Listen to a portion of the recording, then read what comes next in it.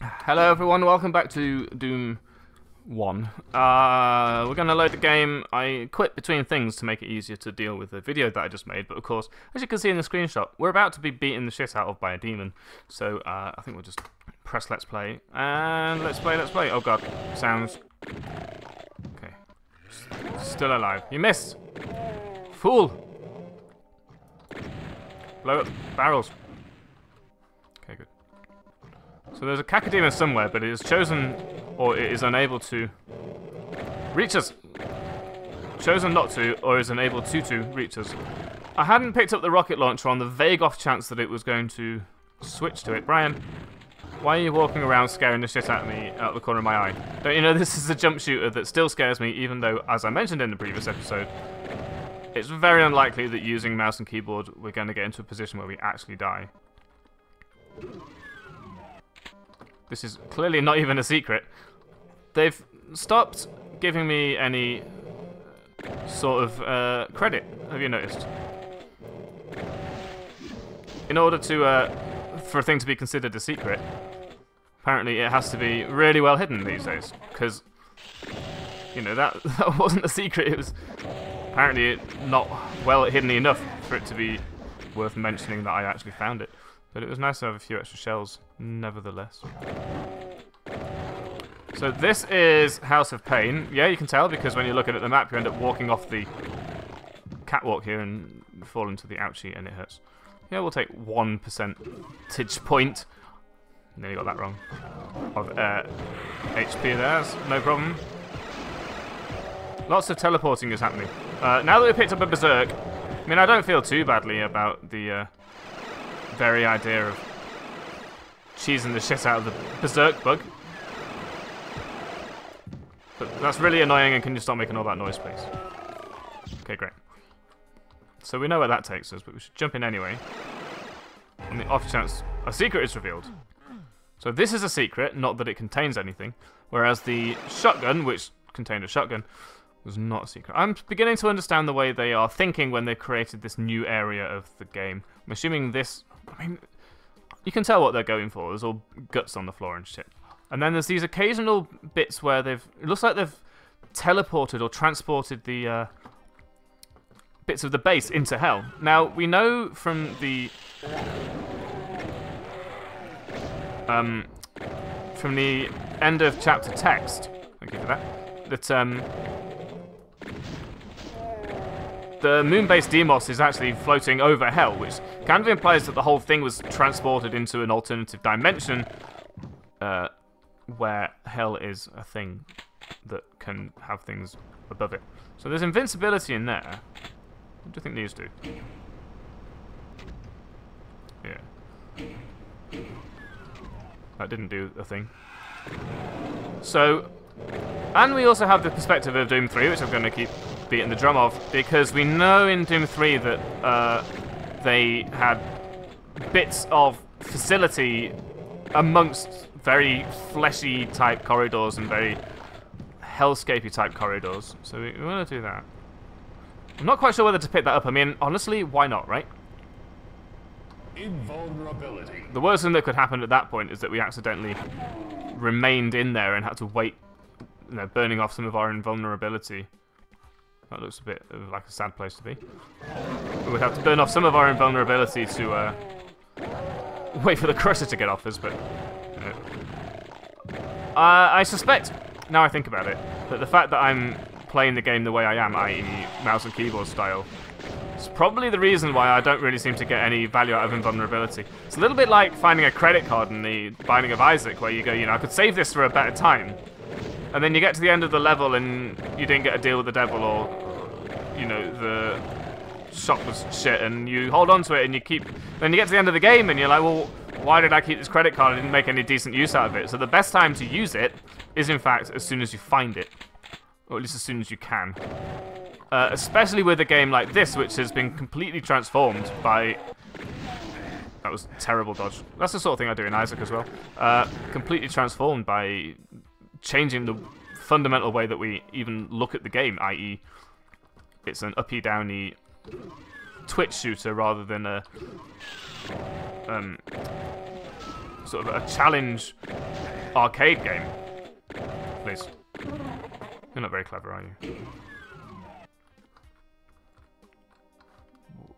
What opened? Oh, something else opened.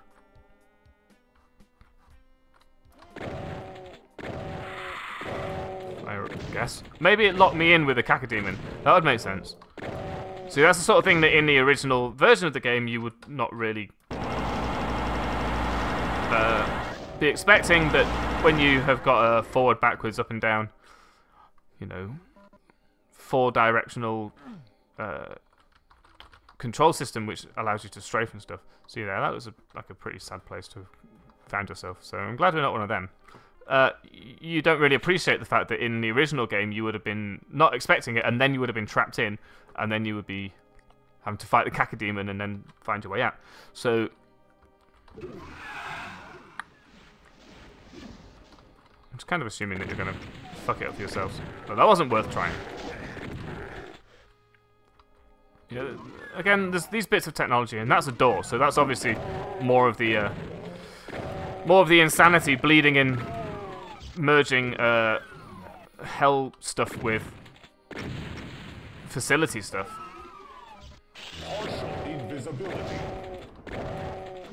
Wouldn't mind a chainsaw. I'm wondering if I missed one in an earlier level. Woo, hello, bye, thank you. Wouldn't surprise me. I mean, you can see there's a lot of this going on, basically. Oh, jeez. Where...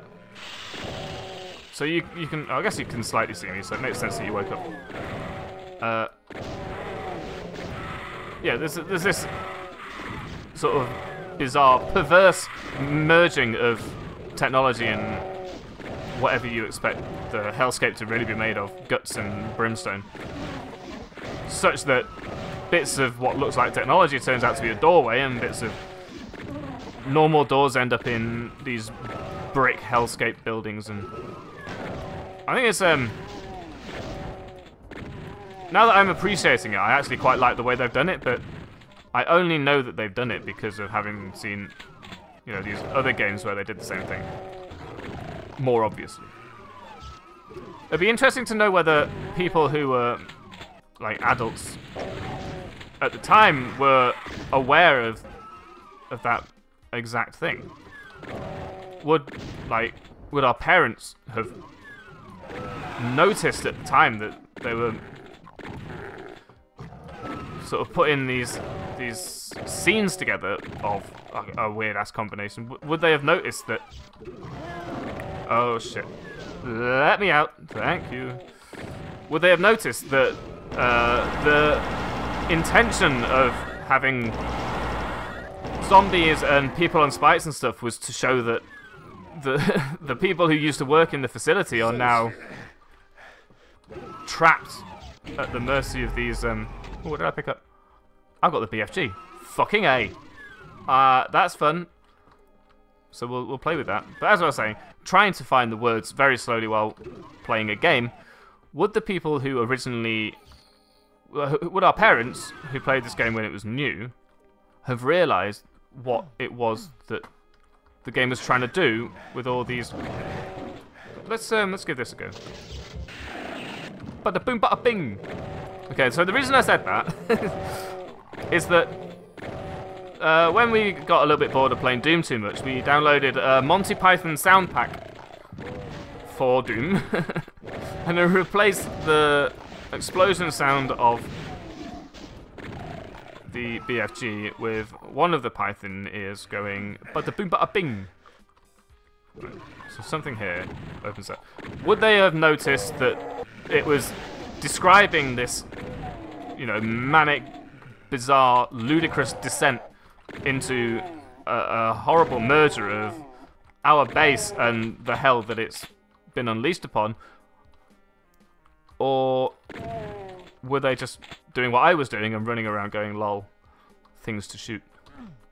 So these things open with those things. Because you can see those are the pipes and stuff. Those are the technologies. There's a, glowy thing in there, so that's probably a skull. We'll do this one at a time. Hello? There's nothing in there. Very well. Not all the switches necessarily do anything I expect. Oh, it's invincibility. Invulnerability. Alright, so that one did that. Fair enough. If we have invulnerability, we might as well punch things because we can cheese up the, uh, what I'm going to assume is a bug on the part of the uh, Berserk box. But I need a red key to open that door. Uh, I mean, it's not that big of a cheese up because of how we would be invincible anyway. It's just we wouldn't get as far. So we need a yellow key to open this door, and we have one. There's a red key in there. So I pressed all the buttons, basically. They didn't all last. Go. Is this a door? No. It's not a door I can open.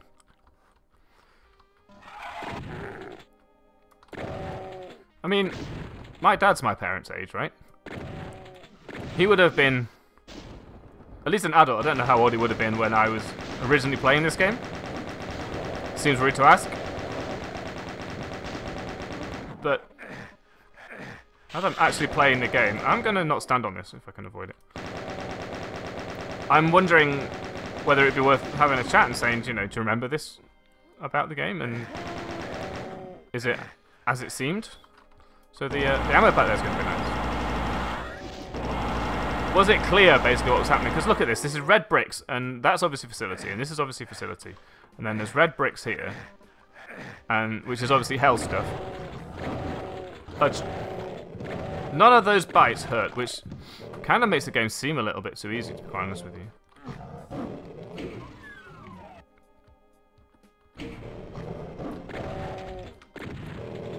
Uh, was it was it clear all those annoying things that I keep trying to repeat without using the same word twice without hesitation, deviation, or repetition. Please describe, in your own words, the progression of aesthetic through the various chapters of the original Doom without deviation, hesitation, repetition. I remember this ladder, actually. Interesting way of dealing with the limitations of the game engine at the time.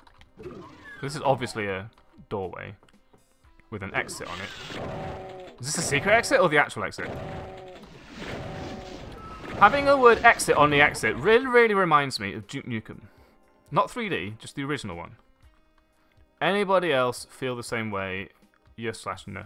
Honestly, I think we've done everything, and I don't really care enough to try and look for anything else, so we'll just go through. That looks like the secret exit exit thingy, but whatever. Yeah, only half the secrets. I'm not really trying too hard, and of course, I don't actually know where the secret exit is on this level. It might be. I remember one of the levels has the door you come into, you can open again, which is silly. But that's okay. I've said before that I feel like it's a bit early, a bit late to retrospectively. Uh, I do like this actually. I remember this. This is really clever. Showing about the texture alignment. That could be a bug in the engine, of course. So remember, a lot of the things you're seeing, if something looks wrong, it could be just a bug in the way the uh, the OpenGL thing works. So don't be too harsh on it, I guess is what I'm saying. I remember this level really well. All the hell levels turned out really, really well, in my opinion. Uh, like, they did really well in designing these levels with what is now seen to be a limited engine and making them interesting and memorable. You know, um, obviously they had a lot more to play with in the fact that you can just be completely bizarre and there's a word I want to say and I can't think of what it is. It's not that I, I don't I'm not trying to avoid saying a bad word. And if I remember and it turns out a bad word is what I wanted to say, then I will probably avoid saying it. But uh, there's a there's a word that really well describes the the manic I keep using the word manic, and it's like a synonym of manic. Maybe I'll look up in a thesaurus or something. The, um, really, really bizarre and twisted merging and hijacking of human technology with these uh, hell beasts disruption of it. And being able to make these really, really horrible, uh, like, mentally confusing... Come on, there's a word for this. Uh, the whole place is just twisted and, and wrecked and ruined. This is... Remember when I was originally telling you about the way um, uh, teleporting works, I'm pretty sure around here is where I first heard of it. So that's one of those floors that hurts. So if we do this, yeah, there we go. Around this, um, around this whole level somewhere, there's a little tube somewhere that allows sound to get into a teleport room, which then floods the room full of enemies, which all step on a teleport. Of course, in Hexen, might have been in Hexen I was telling you about that actually, because in Hexen you just spawn enemies with the script, which is fine. Quite like the uh, what I now recognise is like a hellishly hijacked. Um, I mean, I want to say it's like an airport scanner, but for the fact that we just walked through it with shitload of weapons and okay, uh, it had no effect. It still let us in, but see what I mean. So here, I mean, you just do this, right?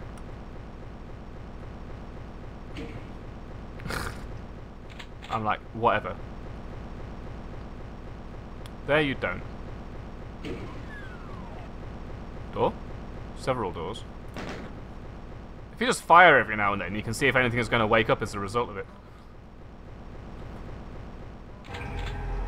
So that one's a secret, but the rest of them aren't. Nice ones. And then there's a teleporter and another switch. So this switch presumably does the blue key, which presumably brings in a shitload of baddies and scares the shit out of us. These are very loud crushers. Maybe they're Wesley crushers. Don't like this room, but at least I have... Oh look, Berserk again. Oh, these ones can bite me when I'm partially invisible and Berserk. But the ones that just existed out of spite in the previous level, no such thing. Right, so out here, that's the confusing area of the... Oh, hello. Let's just use this. I'm assuming it only boosts our damage for our fist. I honestly haven't tested it. It's not like we have Spider Mod or something that tells us how much damage we're doing whenever we shoot a baddie. So that here is the, the sort of crazy area. So you can teleport between these and they always take you to a different place. They're not linked to each other, which is another sort of mania of, of this level, which is why I remember this level so well. And I was saying, in fact, I remember a lot of all this so very well because the amount of leeway, the amount of messing around and playing they did with uh, being able to literally make whatever they want, like these glyphs on the wall and stuff. Whereas for the um, for the actual facility levels, it they, please they um obviously had to um be a little bit more rigid. They had to try and evoke the concept of a, a military facility. So that just took us into the middle, which is worrisome. Let's see if we can compare these glyphs. So that's the pentagram. That's the one in the middle. Yeah. That's the one in the middle. And that's one in the middle. So the only one that does anything different is the, presumably the pentagram. That's the pentagram there, which takes us to this pentagram here. So this pentagram here takes us to that pentagram there. Let's just go somewhere else. Here's somewhere else. We do have a map. it's not like we can get that lost. But I am aware that the uh, pillars in the middle of that big courtyard do open up. And I thought they opened up by pressing them, but apparently they don't. Happy with the amount of ammo we've got now as well. We've always got the, uh, but the boom, bada bing! For the, uh, that's the way out, right? Yeah, we've seen that. So basically we go through this door. Uh, to clear out a room full of horrible, scary enemies, which we may have to do. Let's try it. Here it is. So see that little hole up there? If I shoot this guy, the room floods with enemies. I'm not sure how it decides what the BFG will own and what will not be affected by it. Guess we do it again.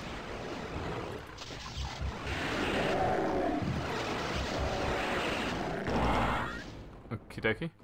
Um, yeah, I was saying that I did really like the BFG in Quake 2. I uh, enjoyed the BFG uh, lore in Doom 3, but I didn't really like the BFG itself. There's another one here. I already have one, but appreciate that. I enjoyed the lore of the BFG in, in Doom 3 because uh, we get out by doing what? Jumping in here? Oh, there's a button. uh, yeah, it, it kind of explained the existence of something in uh, a game that was trying to be more clearly technological. Like to have a, a better excuse for its... Oh, there we go. Shit. Let me out. uh, let's just use rockets. So apparently we open these up by jumping on that... Please stop moving.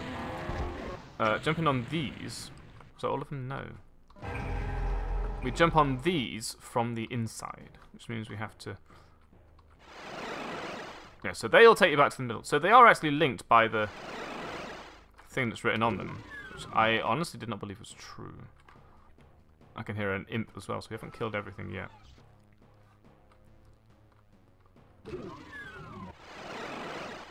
Okay, we know about that one, so let's not do that again.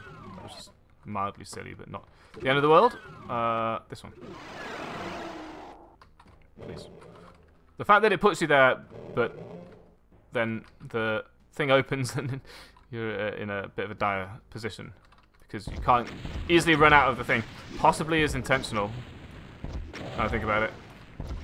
I mean, it's not like the people who made this game were stupid. It's just that they had not had the experience of many years of uh, of game design, basically. So we've done those two, I think.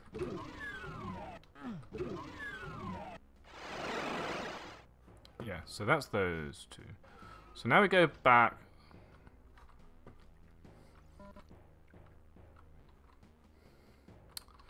This uh, episode's going on a little bit, so what I'm going to do is find those secrets between this episode and the next and say thank you for watching. Remember to like the video, that helps us, and subscribe to the channel, which will help you learn about new things in the future.